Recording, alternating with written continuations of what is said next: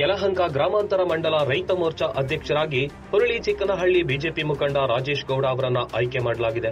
ಈ ಹಿಂದೆ ಕಾಂಗ್ರೆಸ್ ಪಕ್ಷದಲ್ಲಿದ್ದ ರಾಜೇಶ್ ಗೌಡ ಕಳೆದ ವಿಧಾನಸಭಾ ಚುನಾವಣೆಯ ಸಂದರ್ಭದಲ್ಲಿ ಬಿಜೆಪಿಗೆ ಸೇರ್ಪಡೆಯಾಗಿದ್ರು. ಆ ನಿಟ್ಟಿನಲ್ಲಿ ಹೆಸರುಘಟ್ಟ ಭಾಗದಲ್ಲಿ ಬಿಜೆಪಿ ಪಕ್ಷವನ್ನ ಸದೃಢವಾಗಿ ಕಟ್ಟಲು ಸಹಕರಿಸುತ್ತಾ ಹಾಗೂ ಶ್ರಮಿಸುತ್ತಿರುವ ರಾಜೇಶ್ ಗೌಡ ಅವರ ಸೇವೆಯನ್ನ ಗುರುತಿಸಿ ಶಾಸಕ ಎಸ್ಆರ್ ವಿಶ್ವನಾಥ್ ಮಾರ್ಗದರ್ಶನದಲ್ಲಿ ಯಲಹಂಕ ಗ್ರಾಮಾಂತರ ಮಂಡಲ ರೈತ ಮೋರ್ಚಾ ಅಧ್ಯಕ್ಷರಾಗಿ ಆಯ್ಕೆ ಮಾಡಲಾಗಿದ್ದು, ಈ ಮುಖಾಂತರವಾಗಿ ಅನೇಕ ಬಿಜೆಪಿ ನಾಯಕರುಗಳಿಗೆ ರಾಜೇಶ್ ಗೌಡ ಅಭಿನಂದನೆ ಸಲ್ಲಿಸಿದ್ದಾರೆ.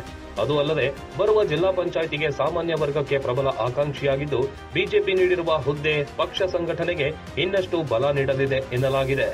ನಮ್ಮ ಜನಪ್ರಿಯ ಜನಪ್ರಿಯ ಶಾಸಕರಾದ ಎಸ್ ಆರ್ ವಿಶ್ವನಾಥಣ್ಣನವರು ಅವನ ಕೆಲಸ ಕಾರ್ಯಗಳನ್ನು ನೋಡಿ ರೈತ ಮೋರ್ಚಾ ಅಧ್ಯಕ್ಷ ಕೊಟ್ಟಿದ್ದಾರೆ. ಸರ್, ನೋಡಿ, ನಮ್ಮ ಯಲಂಕ ಕ್ಷೇತ್ರಕ್ಕೆ ಅನ್ನದಾನ, ಯಲಂಕ ಕ್ಷೇತ್ರಕ್ಕೆ ಎಷ್ಟು ಬರುತ್ತೋ ಅಷ್ಟು ತಂದು ರೈತರಿಗೋಸ್ಕರ ಯಲಂಕ ಕ್ಷೇತ್ರಕ್ಕೆ ಅನ್ನದಾನಗಳು ತಂದು ಮಾಡಿಕೊಡ್ತೀವಿ ಸರ್. ಸರ್ ನೋಡಿ ಯಲ್ಲಂಕ ಕ್ಷೇತ್ರದಲ್ಲಿ ನನ್ನ ಕೆಲಸ ಕಾರ್ಯಗಳನ್ನು ನಾನು ಓಡಾಟ ಪಕ್ಷಕ್ಕೋಸ್ಕರ ದುಡಿತಾ ಇರೋದನ್ನ ನೋಡಿ, ದಿಬ್ಬೂರ್ ಜಯಣ್ಣನವರು ಆಮೇಲೆ ಕ- ಕರ್ತುಂಗನಹಳ್ಳಿ ಸತೀಶ್ ಅಣ್ಣನವರು ಆಮೇಲೆ ಸಿಂಗ್ನಾಯ್ಕನಹಳ್ಳಿ ರಾಜಣ್ಣನವರು ಸಿಂಗ್ನಾಯ್ಕನಹಳ್ಳಿ ಜ ಜನಾರ್ದನ್ ಅಣ್ಣನವರು ಆಮೇಲೆ ಉಳ್ಳಿ ಚಿಕ್ಕನಹಳ್ಳಿ ಹನುಮಣ್ಣನವರು ಆಮೇಲೆ ಜಿ ಜೆ ಮೂರ್ತಿ ಅವರು ಇವರೆಲ್ಲ ಕೂತ್ಕೊಂಡು ಮಾತಾಡಿ, ಹುಡುಗ ಯಾವ್ದಾದ್ರು ಒಂದು ಪೋಸ್ಟ್ ಕೊಡುತ್ತೆ ಪಕ್ಷಕ್ಕೋಸ್ಕರ ದುಡಿತಾನೆ ಅಂತ ಹೇಳಿ ಮಾಡಿದ್ದಾರೆ ಸರ್.